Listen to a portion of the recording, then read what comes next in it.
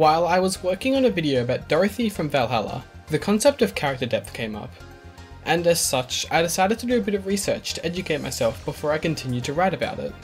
And in doing so, I found a lot of articles, videos, and guides on the topic of character depth, but I came away feeling like a lot of people don't really have a definition for character depth, which I felt was very odd for a word that appears to be thrown around a great deal.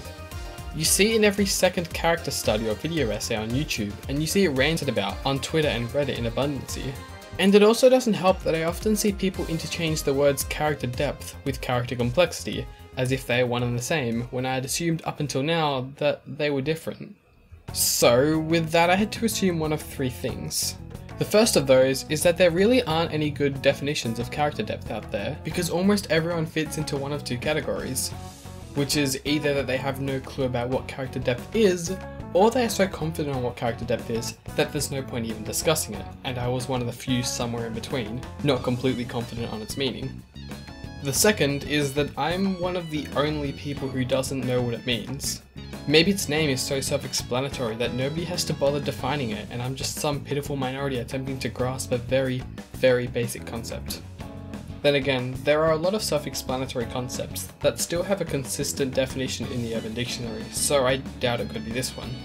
Or I don't know, maybe I'm just being optimistic. But anyway, the third and final possibility I'd assumed was that almost nobody actually knows what character depth means.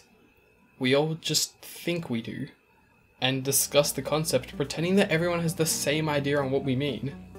Which kind of scares me, but at the same time could also make a decent amount of sense.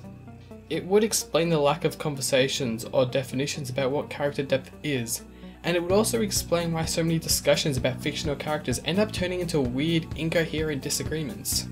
So, with that, I decided to do a little experiment. Admittedly, with a very small sample size of four people, uh, the only four that responded to me. The experiment was just a simple question, or I, I guess two questions. Anyway, it was, how would you define character depth and character complexity, followed by, do you consider those two things to be the same or different? So let's start with Emil's response, simply because it's the easiest to comprehend.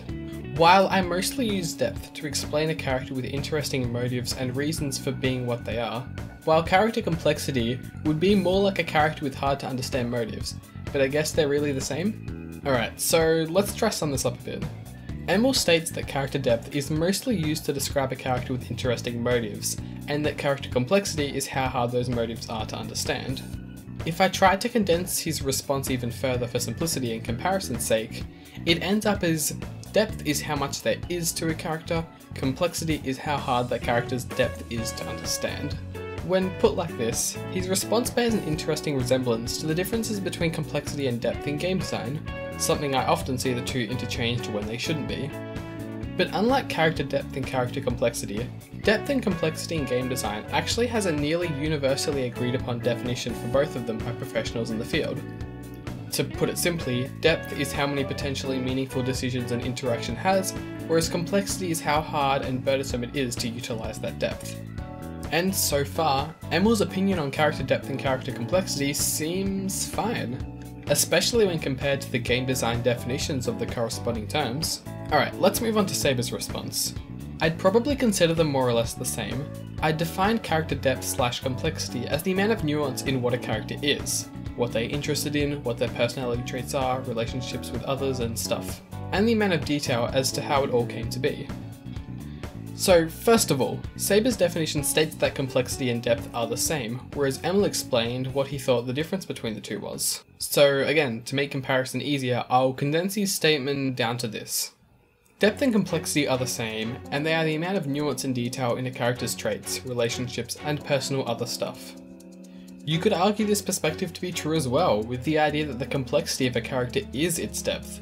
The more intricate and minor details there are to a character, the more there is to draw from when they are to interact with the world. Neither side is the same, yet both could be feasibly correct when considering them individually. If we also consider Skello's response, which is split over three different segments where it changes slightly each time, going from character depth being a character's backstory and motivations, and complexity being how they act and react towards things, basically meaning that complexity is what they do and depth is why they do it, to then adding to his argument to say that depth and complexity can be intertwined, which is somewhat similar to Emerald's, but it's still noticeably different. And then we have the last response, which states that depth is a character's personality and complexity is a character's morals and actions?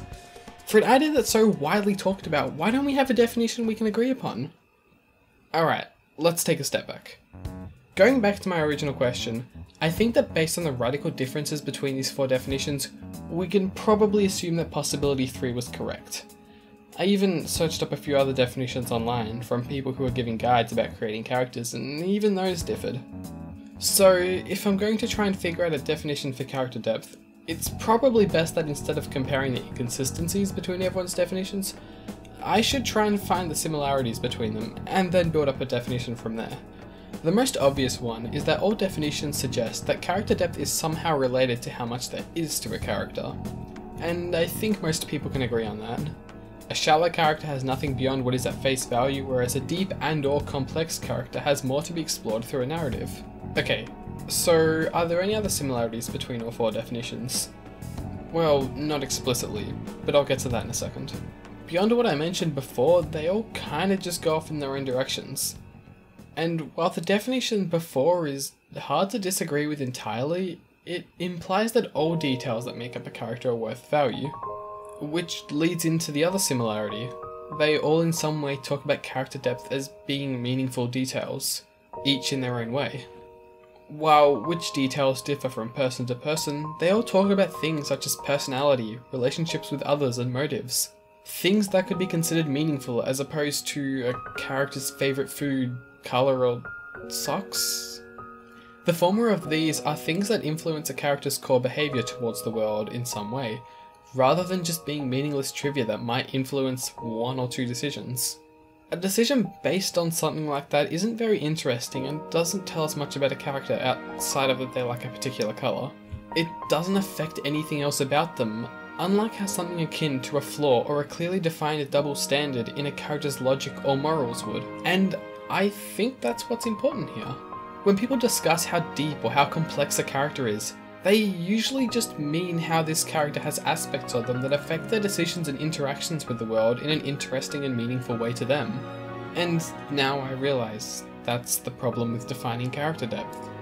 What makes a character deep can be broadly pushed under this definition, sure, but everyone's going to have their own perspective on what parts of a character are important. To some, the backstory of a character is what makes up a character's depth. For others, it might be their worldly beliefs, their morals, or even their political standing. And this is inevitable. No matter where these characters appear in, it's a subjective medium, and the depth of a character only means as much to the viewer as what they can take away from it.